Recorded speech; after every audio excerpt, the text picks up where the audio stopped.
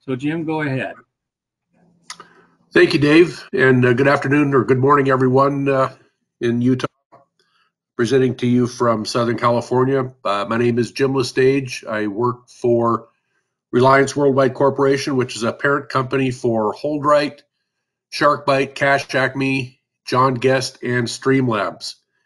I've been with HoldRite since 2006. Prior to HoldRite, I worked in the construction industry as a plumber for 10 years in Southern California, getting my journeyman card and then working on several large scale projects uh, in the Southern California market. Joined 2006 with HoldRite and got my bachelor's degree from Southern or South California State University San Marcos in 2012. So here introducing a little bit about HoldRite. I'm sure most of you folks listening have heard of HoldRite or seen products from HoldRite or even used products from HoldRite. HoldRite was acquired by Reliance Worldwide Corporation in 2017, and we've continued to offer products and services. Uh, most of these you can see in most of the plumbing wholesale shops that you go to or buy your plumbing supply products from. But as you can see, going down this list here, we have all kinds of supports and products uh, for the plumbing trades and electrical trades. Uh, fire stop systems, uh, pipe restraints, inserts, clamps, overhead supports, uh, you name it. Reliance Worldwide Corporation is also the parent company for SharkBite and Cash Acme, uh, two brands you probably are also familiar with.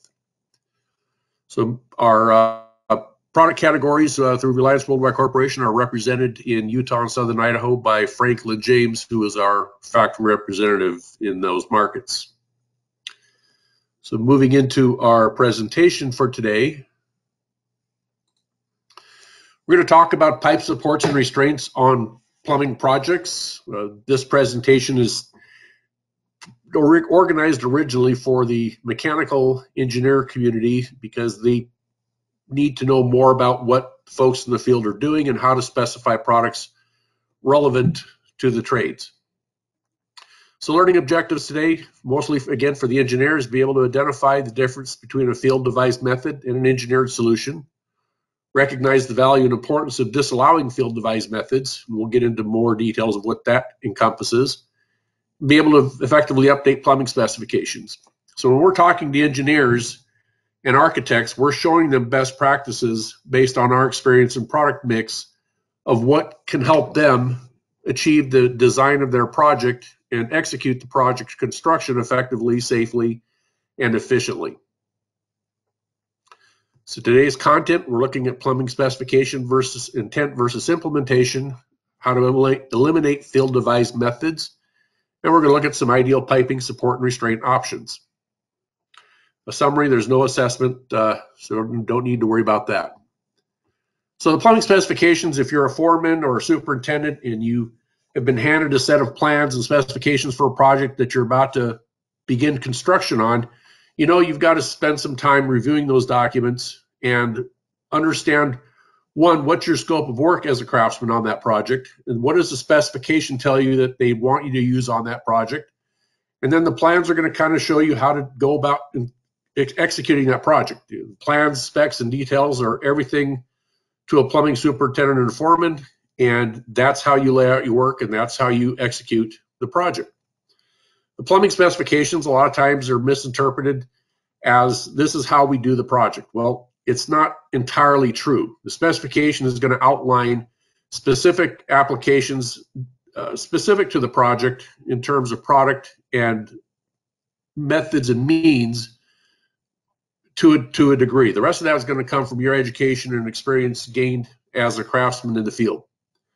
So you'll see catch-all language in the specification sometimes down at the bottom bullet. It says all work shall be done in a workmanship-like manner and in compliance with all building codes. So that's assuming that you know what you're doing as a craftsman and you understand the local codes and the jurisdiction in which you're working.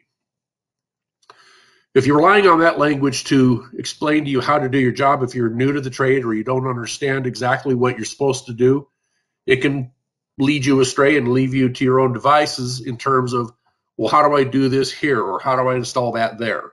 And sometimes it can result in not desirable results.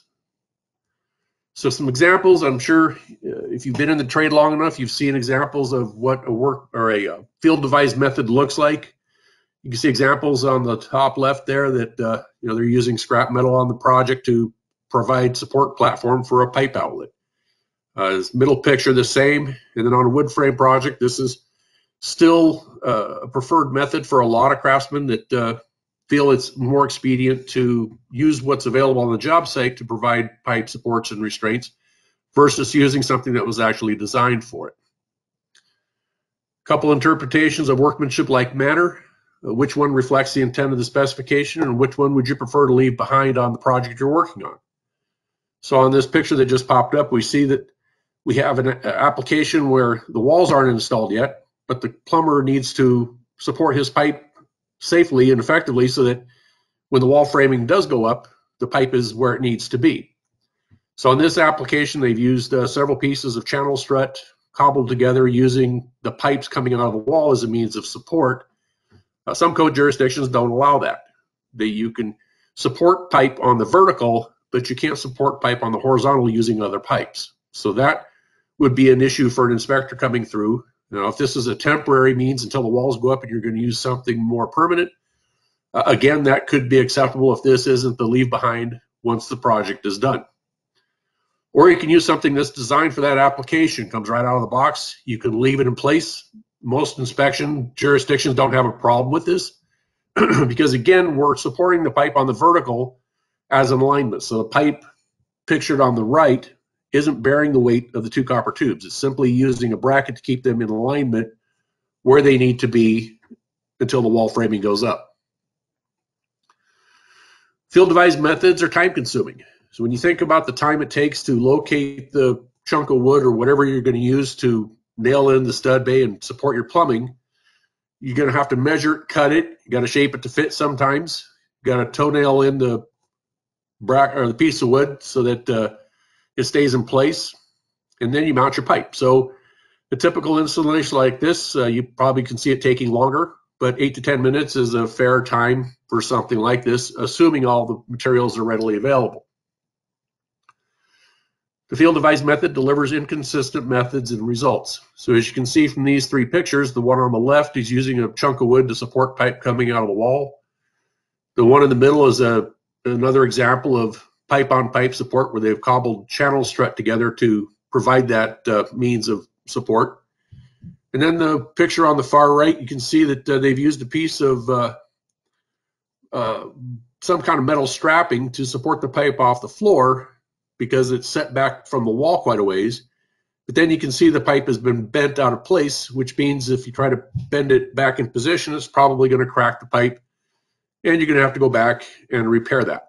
So these are might be easy remedies in the field when you first think about it, but in the long run, they don't last through the pace of construction.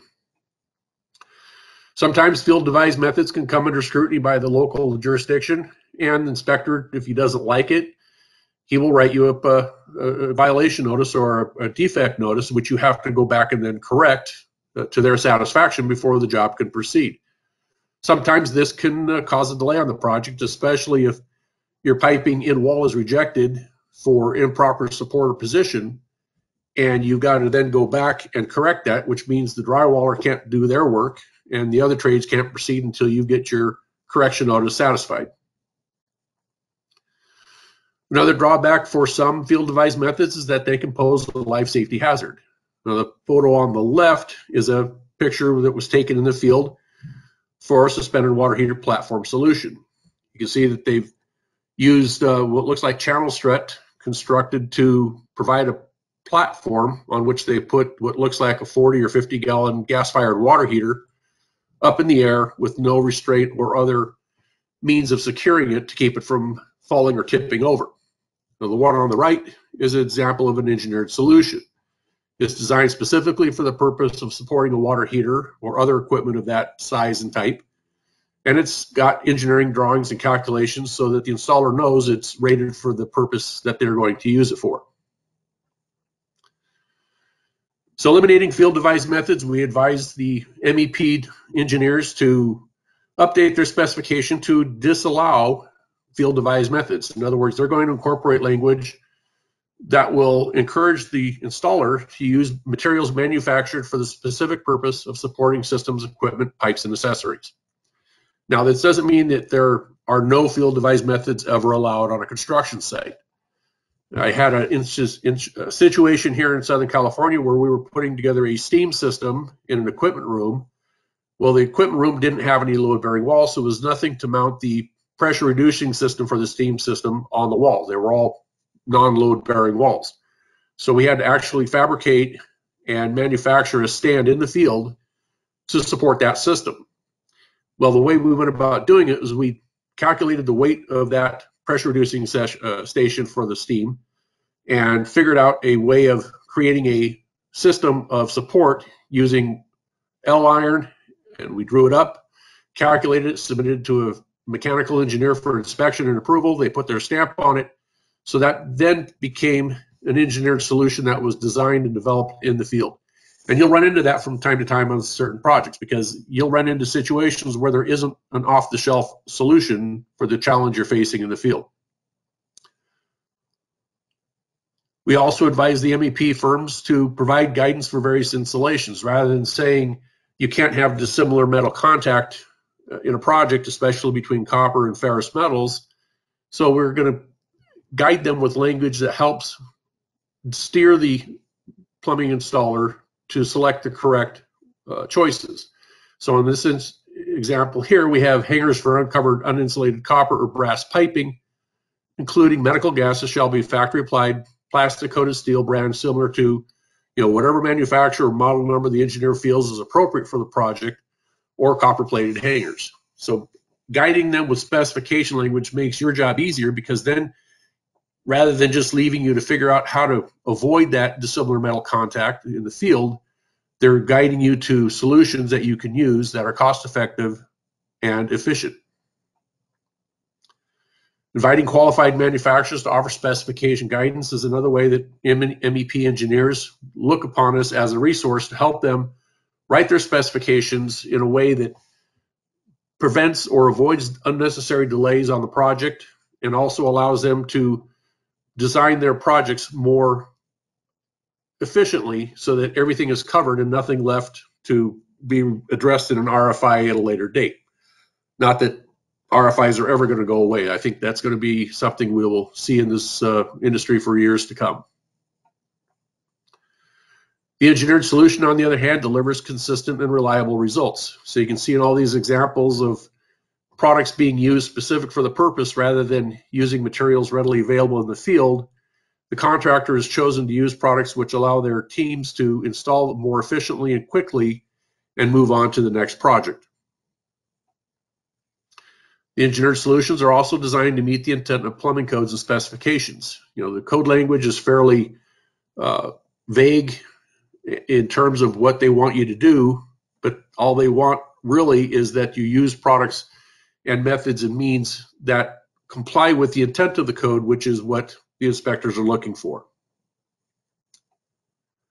The engineered solution eliminates the field devised method. So in that first example we had with the block of wood supporting the CPVC pipe coming out of the wall, we figured out it takes them eight to 10 minutes to do that versus a minute to do something like this. So they take this solution right out of the box, mount it to the wall, insert their pipe, lock it down, and they're done.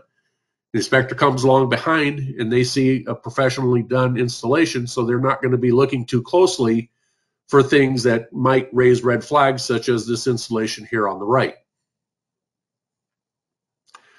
Engineered solution eliminates the need to measure cut material for pipe supports. So now that we've gravitated more to battery operated tools, we're not really running out cords that much.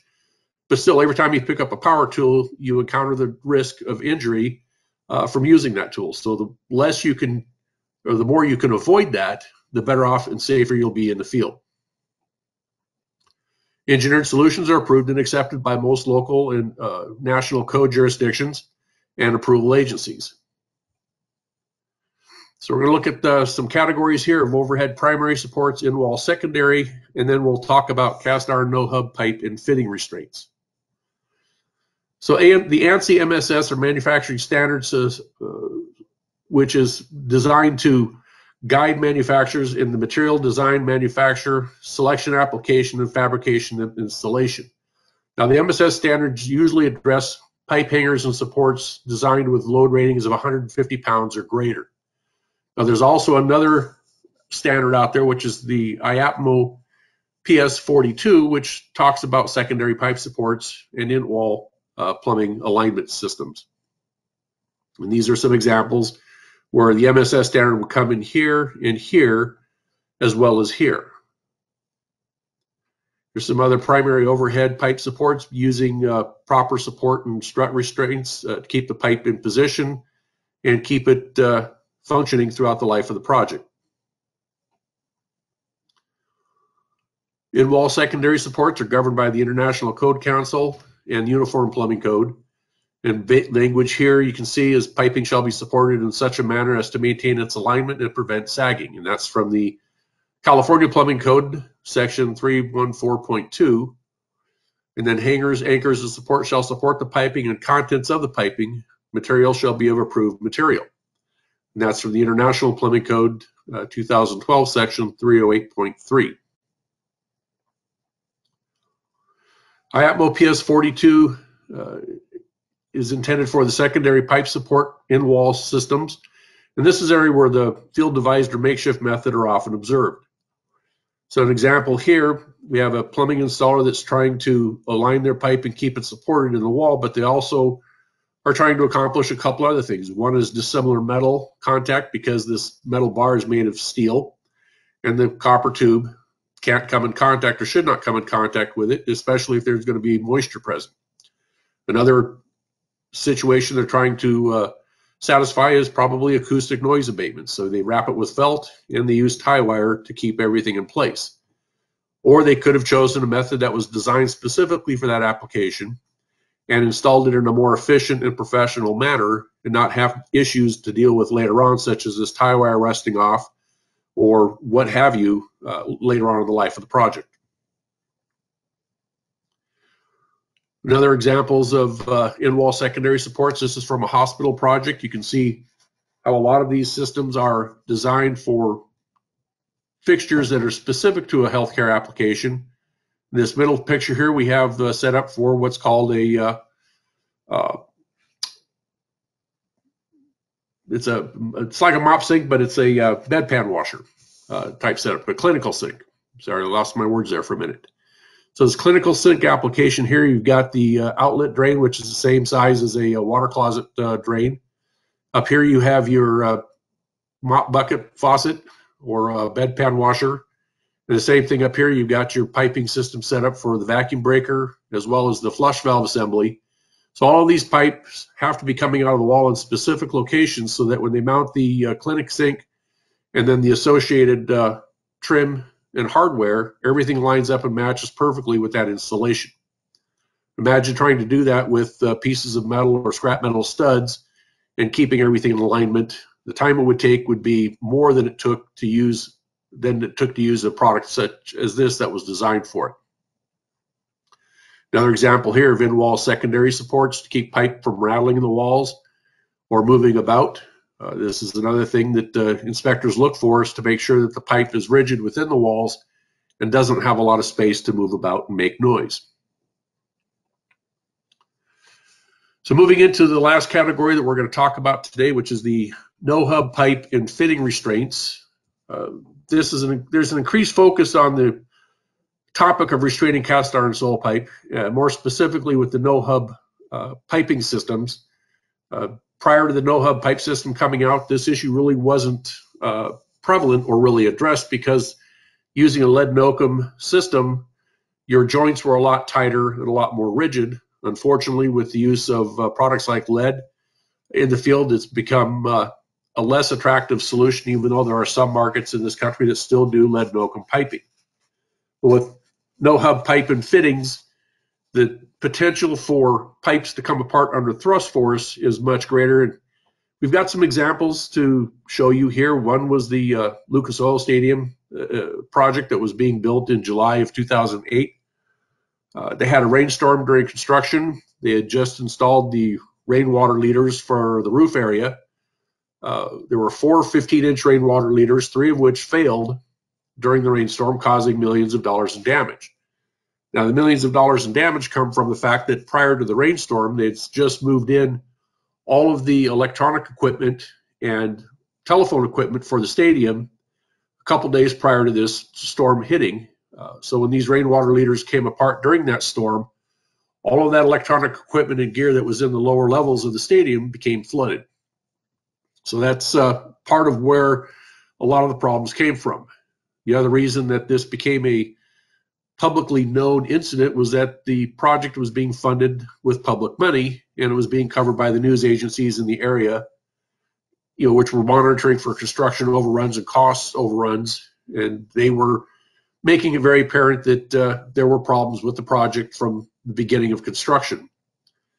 Now, when the rainwater leader systems failed, there were the companies doing the work. One uh, went bankrupt prior to the uh, accident, and then another plumbing system took over. So between the two companies, we don't know which company actually installed the rainwater leaders that failed. But uh, safe to say that when they went back and looked at why they failed, they discovered that they weren't properly mounted or restrained against thrust force uh, coming off the roof. Now, to get an idea of how much rainwater these 15 inch rainwater leaders were handling, the total area of the roof of the Lucas Oil Stadium is about six acres. So you can imagine that much rainwater collecting on a fairly large area like that and then going into four downspouts. There's a significant amount of water force coming down those pipes and then changing direction from vertical to horizontal, which is where the failure occurred. So from that incident in uh, Indiana with the Lucas Oil Stadium, the International Plumbing Code amended the code section in section 308.7.1 to mirror the language in the Cast Iron Soil Pipe Institute's installation recommendation manual. And we'll take a look at what that language says in a couple slides. Uh, from 2009, uh, MEP engineers started enforcing compliance with the Cast Iron Soil Pipe Institute's installation recommendation, asking for details on their drawings recommending installers restrain their pipe and fittings in a way that prevents axial movement or separation under thrust force. A mechanical engineering firm uh, called Smith Seckman Reed, or SSR, as some folks might know them, requires a contractor to restrain hubless pipe drainage fittings on the Orlando, Orlando Magic Stadium in 2009. Well, that project is now known as the Amway Stadium, and it's where the birth of the engineered solution for no hub pipe and fitting restraints came from. Another system failure here was the Translational Medical Research Facility in Pennsylvania. We had a project that was recently completed in 2012, and shortly after the project was turned over to the owner, they experienced a, a trail winch rainwater leader that failed, which also caused millions of dollars in damage. And hence, more engineers are being drawn into this as damages are being uh, mitigated or damages are being identified and they're looking for ways to overcome exposure to that uh, risk of being called into a lawsuit in the event of damages. So International Plumbing Code 2015, this is the language that was included after 2009 when they updated it, and this is the language that closely mirrors what the, the uh, Cast Iron Soil Pipe Institute has in their installation recommendation. So for pipe sizes greater than four inches, restraints shall be provided for drain pipes in all changes of direction and in all changes of diameter greater than two pipe sizes.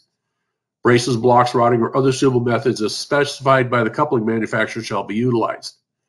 So this is fairly broad language and kind of leaves the reader believing that whatever they do, as long as it satisfies the braces, blocks, rodding, or other suitable methods, that they're okay. And for a long time, that was accepted practice because there was no standard or method used other than some of what we'll see in pictures coming forward. The Uniform Plumbing Code simply says that the plumbing system shall be installed in a manner that is in accordance with this code, applicable standards, and the manufacturer's installation instructions. And this last part here, manufacturer's installation instructions, gets overlooked quite frequently. A lot of times when we're taught in plumbing school or trade school how to do things, it's based on industry standard and best practices that were handed down from generation to generation. And the old adage of, well, we've always done it that way becomes the norm. So when something new comes along, like no hub pipe and fittings uh, versus the bell and spigot type piping systems that were put together with lead and oakum, the old way of doing things kind of becomes obsolete because now we have a system that requires a little more attention to installation detail. Cast Iron Pipe Institute's recommendation for installing hubless pipe and fittings is that horizontal pipe and fittings five inches and larger must be suitably braced to prevent horizontal movement. This shall be done at every branch opening or change of direction by use of braces, blocks, rodding, or other suitable method to prevent movement or joint separation. So we can see in that book that they've got a little diagram of what they are talking about, but then when you look for these types of materials in a pipe hanger catalog or, or any other type of catalog, you don't see anything like it. The only thing that comes close are maybe what can be construed as riser clamps or pipe clamps. But this metal bar, there's nothing currently manufactured that closely resembles that. So fast forward to 2015, and after all the attention has been drawn to the fact that the hubless pipe and fitting requires additional restraints on pipe sizes five inch and larger, we have a pipe manufacturer that is taking this a step further and including these big warning labels in their installation catalog to warn the installer that they must restrain pipe and fittings five inch and larger uh, using brace block, rodding, or other suitable method to prevent movement or joint separation. They also go on to say that the heavy duty or wide body couplings are not a substitute for proper thrust restraint. This last sentence here gets a lot of people's attention because it says that failure to properly restrain branch openings or changes in direction will result in joint movement or separation, causing system failure and potential serious injury. Now, when the first time I read that, I thought that was a bit of a stretch. You know, how could pipe system that comes apart in a coupling cause serious or potential serious injury? Because most times in my experience as a plumber, when we didn't restrain our system during test, you got wet. Nobody ever really got hurt. Then we've got language from the uh, Tyler Pipe, which is now the McWane Group. No hub pipe and fitting restraints are required because no hub pipe fittings and couplings are rated to withstand 10 foot ahead of water for testing purposes. Now remember, gravity drainage systems are exactly that. They're not intended to hold water or carry water pressure for any length of time other than to transfer waste from one point to another. So if you've got waste systems that are constantly being subjected to thrust forces equivalent to 10 foot ahead of water in the life of the system, it appears we would have a problem with design. Either it's uh, the upstream waste is overwhelming the system, it's undersized, or there could be other factors such as blockages uh, or forced discharge going into the system. This table comes right out of the Cast Iron Soil Pipe Institute's uh, installation recommendations and this thrust chart here is a guide to the installers, let them know that, okay, if I've got a 10 foot head of water on my pipe system, the equivalent pressure at the base of the stack is 4.3 psi, and the associated thrust force based on pipe size is also listed here. So inch and a half pipe, we see that with a 10 foot column of water, there's going to be 12 pounds of thrust on the base of that stack. If you look all the way up here at five inch, which is where you start to uh, need to use restraints or construct restraints, we see that the thrust force is quite a bit more significant. There's almost 100 pounds of thrust on the bottom of that fitting. If you're putting in the 12 or 15 inch cast iron soil pipe, uh, remember the Lucas Oil Stadium, if that was more than a 10 foot head of water, there was almost 900 pounds of thrust on the base of that stack when that rain uh, when that rain system hit. So this red line is drawn at the 50 foot head mark, because that's where the engineered solution is designed to perform at its maximum capacity. So if you have a pipe system that's going to see or has the potential to see thrust force of up to 50 psi, you want to consider a thrust restraint system that will withstand that. So on the uh, medical facility we talked about, the uh, translational medical research facility in the beginning of this slide with the 12-inch rainwater system failure, uh, on the fifth floor here, we see the offset here in uh, yellow and red. This yellow pipe is all 12 inch rainwater leader going into a rainwater system. And this uh, 12 inch double offset here, separated during the rainstorm, fell through the ceiling of the fifth floor stairwell and crashed to the floor. Now, after reading that warning label from Charlotte Pipe, we can see where that potential for serious injury does exist in systems that are not installed correctly. So on this system here, the engineer went back and did a forensic analysis as to why that system failed because the installing contractor made the claim that the system was undersized and therefore the rainwater that entered it overwhelmed it. Well, when they went back and did their forensic analysis, they calculated that during that rainstorm, there was only 82 pounds of thrust at the time that this system came apart. Now, remember that chart we looked at earlier. If they had done a 10 foot static head test on this section of pipe, it would have seen a lot more than 82 pounds of thrust. In fact, we can see that with 12 inch, 10 foot head of thrust would have been 538 pounds, which is the code standard for testing pipe. So it tells the engineer that obviously the installer did not test as required for that system. So it went back to the installer. The other thing they noted was that this section of pipe here with the double offset was not supported by any hangers from the ceiling. It was simply relying on the no hub couplings to keep that pipe section in place. So a couple problems had they had to go back and correct it. Uh, and so from these types of failures in the field, we see more attention being drawn to the need for pipe thrust restraints on no hub pipe systems. When properly restrained using the engineered solution, fitting three and four would not have separated. Now, if they weren't properly pressure tested, uh, there may have been leakage with that amount of thrust, but this system would have remained intact. It wouldn't have come apart and fallen through the ceiling and hitting the floor. This is something that you know we see quite often. I saw it quite a bit in the field as a plumber. And when we are required to restrain our pipe and fittings against separation from thrust force, and we don't know of a product or approved means or method that's out there, we kind of gravitate to what we know. So riser clamp has become the kind of a catch-all tool for all kinds of uh, applications in the field. Everything from keeping the pipe supported at every floor to being used in this application here to contrive some kind of thrust restraint to keep this section from coming apart under thrust force. Now, the problem with most riser clamps is that they are kind of a one size fits all device. If you don't size it correctly to the type of pipe you're putting in, if you're using a uh, Schedule 40 steel pipe clamp uh, on a cast iron soil pipe system, it may not fit exactly right. It may be a little loose, or vice versa. So in this picture here, we can see a pipe thrust restraint that's contrived in the field. On one end, they've got channel strut, and on the other end, they've got a riser clamp. And the hardware is run through the riser clamp and then clamped down. How effective is that? Well, we don't know because nobody's ever tested it. Uh, but we can rest assured that this riser clamp will probably at some point slip or move down the pipe, or this hardware could come dislodged and come out of the pipe if enough, enough thrust force is applied to this system.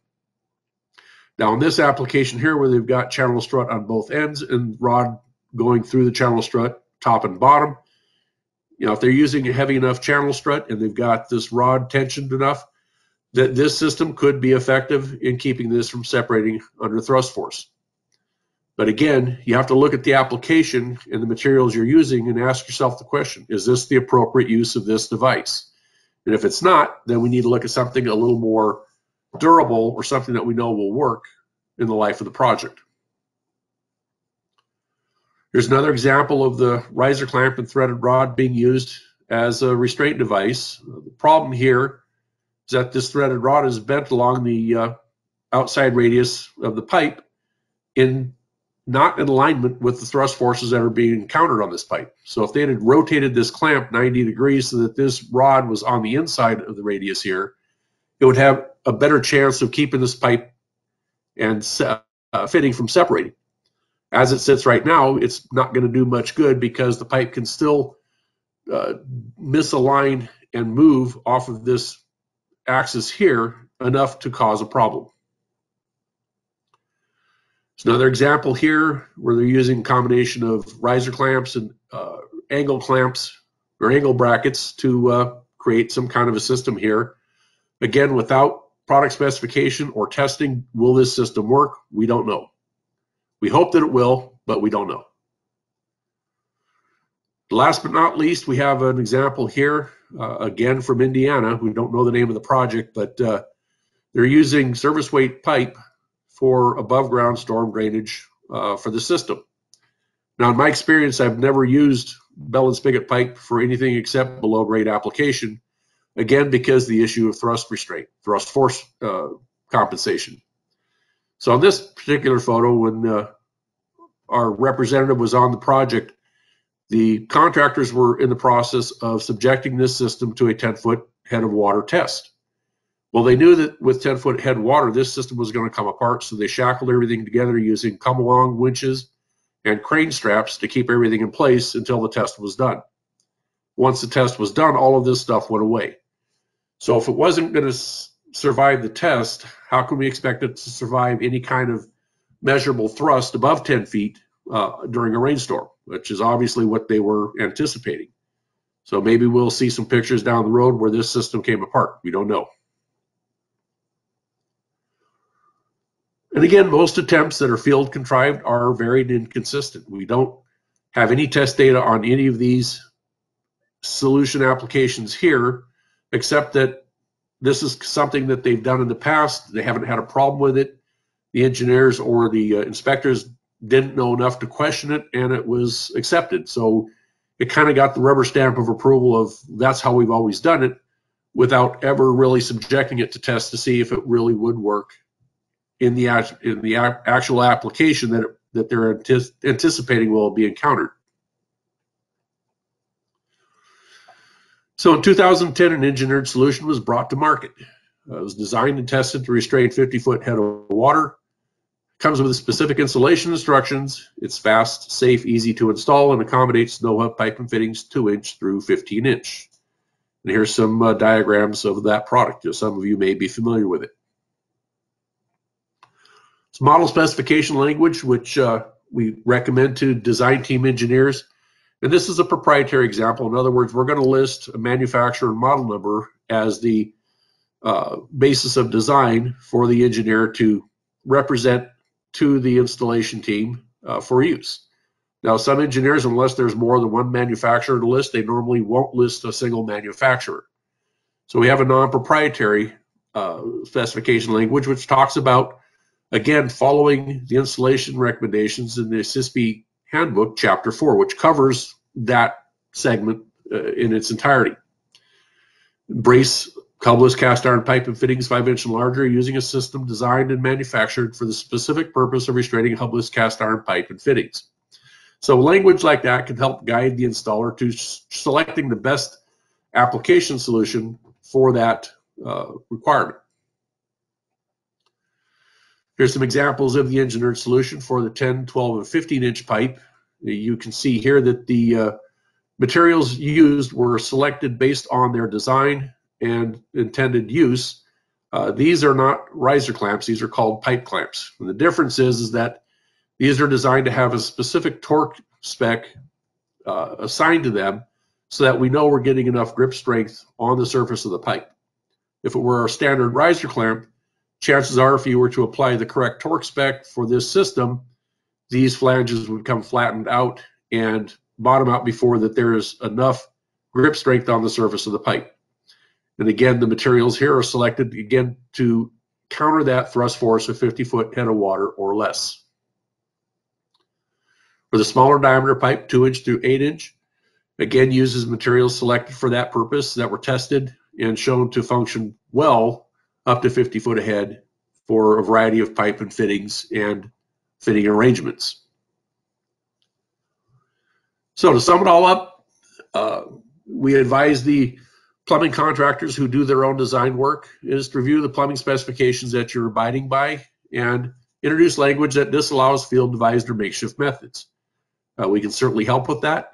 Uh, add appropriate standard code or guideline so that those who read the inspections understand that the makeshift method is not allowed and that there are appropriate means and methods available to select from. And last but not least, replace your field devised methods with engineered solutions. So that is it. If there are any questions, uh, you can certainly forward them to me uh, via email. Let me go back to the, uh, or my, my email address is jim.lestage, L-E-S-T-A-G-E, at rwc.com. I'll be more than happy to take your questions, uh, or you can call me at 760 310 5432. So, Dave,